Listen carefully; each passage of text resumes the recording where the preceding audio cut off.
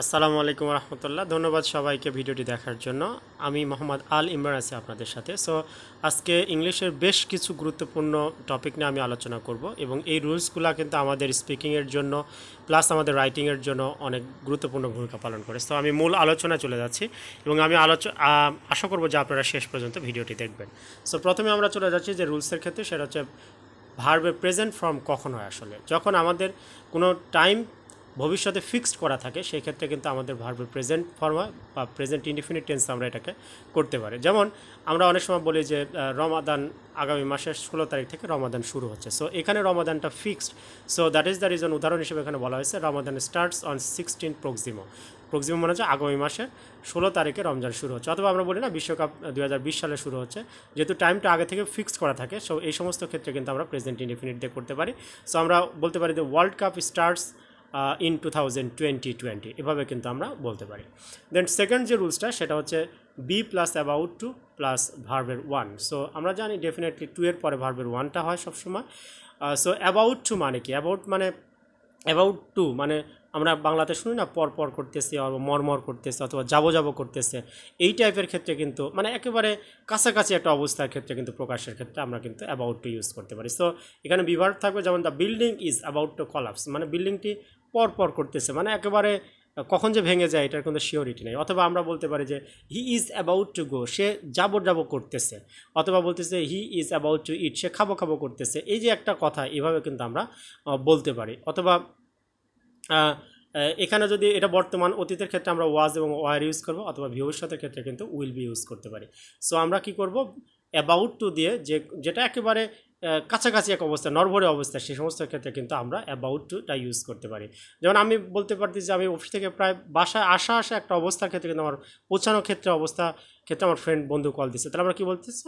যে I am I am about to reach the house so আমি একবার বাড়ি পৌঁছানো পৌঁছানো একটা ভাব, এই সময় কিন্তু প্রকাশ করার ক্ষেত্রে অ্যাবাউটটা ইউজ করতে পারি। এরপর আমরা যাব be plus use to use to কথাটার অর্থ, এটা মানে হচ্ছে ইউজ টু মানে হচ্ছে অভ্যস্ত। সো ইউজ টুর পরে কিন্তু দেখেন টু এর পরে নর্মালি আমাদের কি হয়?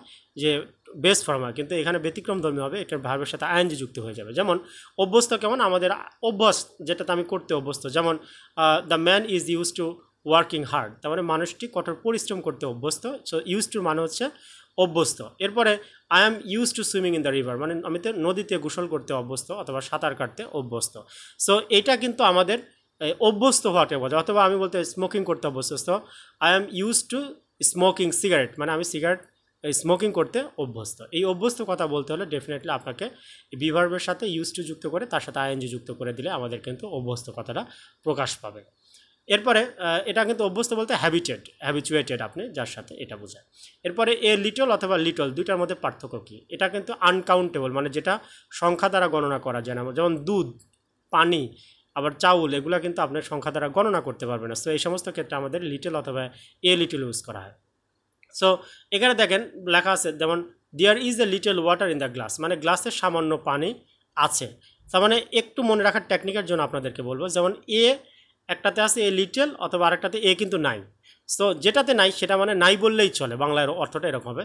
যেমন উপরেরটাতে আমি বললাম কি there is a little water in the glass মানে গ্লাসে সামান্য পানি আছে, অল্প পরিমাণ হলেও আছে। কিন্তু যখন আপনি বললেন there is little water in the glass তার মানে গ্লাসে পানি নাই বললেই চলে। মানে যেহেতু ওখানে এ নাই, তার মানে নাই বললেই চলে। এইভাবে যখন আপনি বলবেন, তখন কিন্তু আপনার বলা সহজ হবে এবং আপনাদের অবশ্যই মনে রাখতে হবে লিটল অথবা এ লিটল এটা কিন্তু আনকাউন্টেবল বা গণনা করা যায় না, যেগুলো, এগুলো কিন্তু ইউজ করা হয়। এরপরে এ ফিউ অথবা ফিউর ক্ষেত্রে কি বলবেন? সো ফিউ এবং এ ফিউটা ইউজ করা কাউন্টেবল যেটা গণনা করা যায়। যেমন উদাহরণ হিসেবে দেওয়া আছে he has a few friends মানে তার অল্প কয়েকজন বন্ধু আছে। মানে অল্প কয়েকজন, অন্তত দশজন, বিশজন বন্ধু আছে। আরেকটা হচ্ছে হি হ্যাজ ফিউ ফ্রেন্ডস তার মানে তার বন্ধুবান্ধব নাই বললেই চলে। ওখানে যেমন নাই বললেই চলে, এটার ক্ষেত্রেও ফিউর ক্ষেত্রেও একই ধরনের হবে। শুধু এটা আনকাউন্টেবল ছিল, এটা কাউন্টেবলের ক্ষেত্রে ব্যবহার করা হয়। সো ফ্রেন্ডস আমরা গুনতে পারি, যার কারণে এখানে ফিউ ইউজ করা হয়েছে। এরপরে ইটস এবং ইটস এই দুইটা কিন্তু আমাদের একটু ক্রিটিক্যাল হয়ে যায়, আমরা অনেক সময় বুঝতে পারি না। সো ইটস প্রথম যেটা সেটা ফুল মিনিং হচ্ছে ইট ইজ মানে ইয়া হয়। আর ইটস আইটিএস ইটস মানে ইহার, এটার বাংলা হচ্ছে ইহার। So it is a pen মানে ইহা একটি কলম, অথবা ইটস কালার ইজ ইয়েলো মানে এটার কালার হচ্ছে ইয়েলো সো ইটসের পরে ডেফিনেটলি আপনাকে একটা অ্যাডজেক্টিভ দিতে হবে, তখন কিন্তু আপনি এটা কারেক্টলি হয়ে যাবে। তো ইটস মানে হচ্ছে ইহার এবং ইট ইজ মানে হচ্ছে ইহা হয়। এরপরে মাইন ইয়োর দেয়ার এই কথাটাগুলো অর্থ জানে, আমরা জানি মাই মানে হচ্ছে আমার। সো মাইন যখন দিবেন, তখন ওটা আমারই। অথবা দে মানে হচ্ছে তাদের দেয়ার্স মানে হচ্ছে তাদেরই। সো এই ই যুক্ত প্রত্যয় হয়ে যাবে। সো আমরা এটা ইউজ করতে দিস পেন ইজ মাইন মানে এই কলমটি আমারই। ই যুক্ত হয়ে যাবে। তারপর হচ্ছে দিস হাউস ইজ দেয়ার্স মানে এই বাড়িটি তাদেরই। এভাবে একটু জোরালোভাবে বোঝানোর ক্ষেত্রে কিন্তু আমরা এভাবে ইউজ করতে পারি।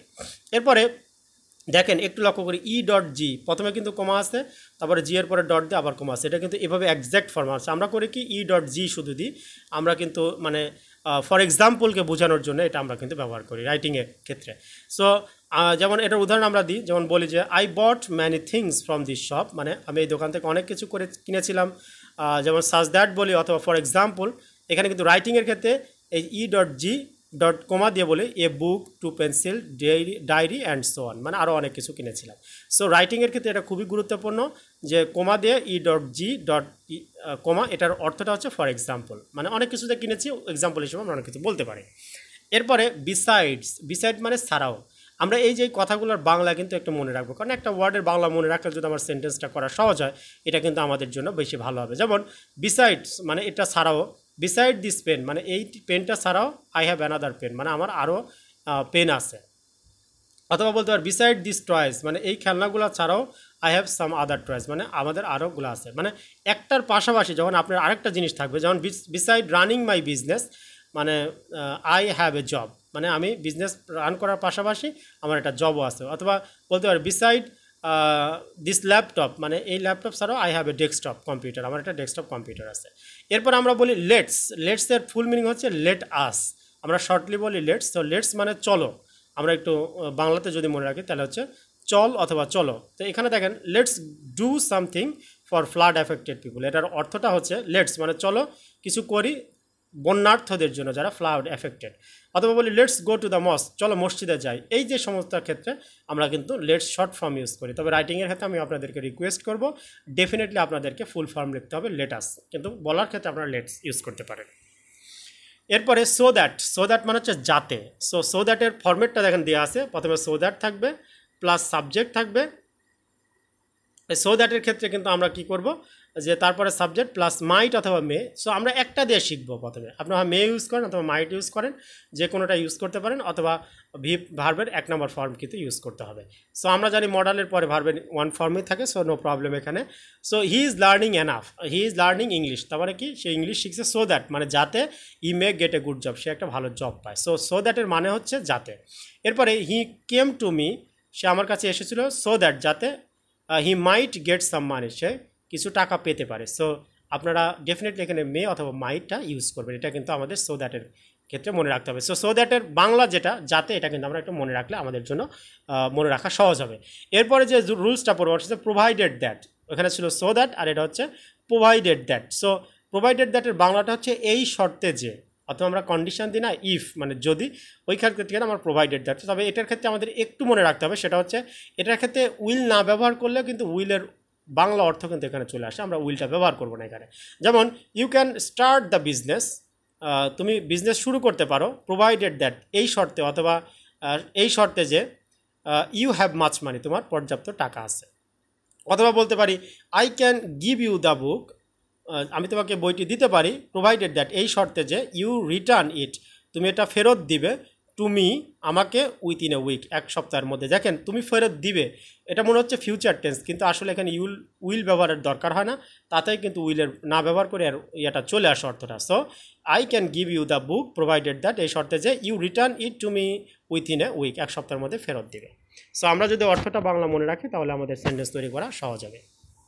সো আমরা যে নিয়মগুলো দেখলাম এগুলা ইউজ করব আমাদের ডেইলি লাইফে তখন আর সবচাইতে ভালো হবে যে আপনারা প্রত্যেকটা নিয়মের ক্ষেত্রে একটা করে সেন্টেন্স মেমোরাইজ করে ফেলবেন, যেন ওই সেন্টেন্সের রেসপেক্টে আপনারা অনেক সেন্টেন্স নতুন নতুন তৈরি করতে পারেন। এবং আপনারা যখন প্র্যাকটিক্যাল লাইফে বেশি থেকে বেশি এই নিয়মগুলো ইউজ করবেন, তখন কিন্তু আপনারা সহজেই অনেক সেন্টেন্স তৈরি করতে পারবেন। এবং এই সেন্ট এই নিয়মগুলা নর্মালি কিন্তু আমরা কম ইউজ করি। কিন্তু আমরা যখন এই নিয়মের দ্বারা হ্যাবিচুয়েটেড হয়ে যাব, তখন কিন্তু আপনার কথার মানটা অনেক উপরে চলে যাবে, অথবা রাইটিংয়ের ফর্মেটটা কিন্তু অনেক উপরে চলে যাবে। সো আমি রিকোয়েস্ট করব প্লিজ আপনারা এগুলো বলার চেষ্টা করেন এবং লেখার চেষ্টা করেন, তাহলে আপনাদের ইংলিশের স্কিল অনেক ডেভেলপ হয়ে যাবে।